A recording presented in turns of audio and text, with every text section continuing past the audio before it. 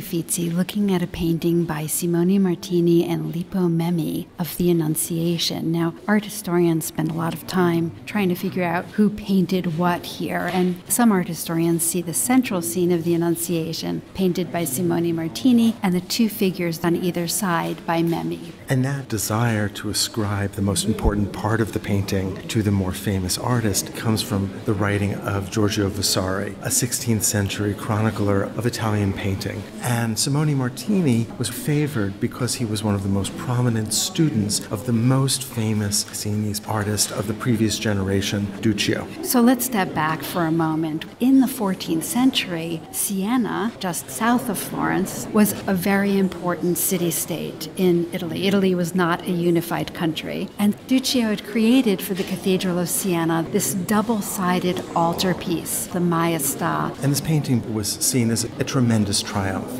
Siena saw its great success as dependent on the favor of the Virgin Mary, and Duccio's Maestà focused on the Virgin Mary as the Queen of Heaven. The city was incredibly prosperous at this moment and planned on expanding the cathedral dramatically. In anticipation of this, the city commissioned four additional altarpieces for the cathedral. And here we are standing in front of one of those subsidiary altarpieces. This one showing an early story in Mary's life, the Annunciation, with the Archangel Gabriel announcing to the Virgin Mary that she will bear the Son of God, that she will bear Christ. Coming out of the angel Gabriel's mouth, we can see his words Hail, full of grace, the Lord is with thee. And the surface of the painting is literally built up likely with stucco, and then that stucco is gilded. And so those words have a sense of physicality. And Mary seems to react physically to them as well as those words head in her direction, and she very gracefully and modestly pulls back away from them. It seems as if she's been interrupted reading a book, presumably the Bible, showing her piety.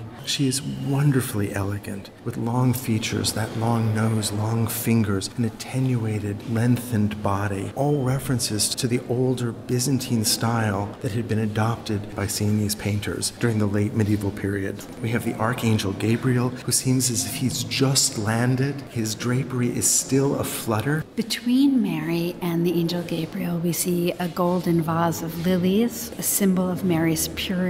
Whereas Gabriel, for his part, holds an olive branch, a symbol of peace And above the lilies, we see what looks like a sunburst with a dove at the center. This represents the Holy Spirit. And if you look closely, you can see that it's got a halo, and out of its mouth come rays which are aimed directly at Mary. The dove is surrounded by seraphs. These are a high rank of angels that have multiple wings. And are commonly represented with heads but without bodies. If our eye continues to move up above the dove, we see an empty circle that likely held originally an image of God the Father. What really distinguishes this painting, even from the earlier style of Simone Martini, is its extraordinary elegance. There's such a linear quality to this painting. Look, for example, at the elegant turns of Gabriel's cloak, of the attention to the individual feathers in his wings, the delicacy with which the lilies are painted, or the face of the Virgin. Or these lovely curvilinear forms, for example, that drapery that flutters behind the angel Gabriel, or the hem of Mary's garment that weaves back and forth. In addition to that sense of elegance, there's a sense of sumptuousness, of richness. Look at that fabric worn by the angel Gabriel.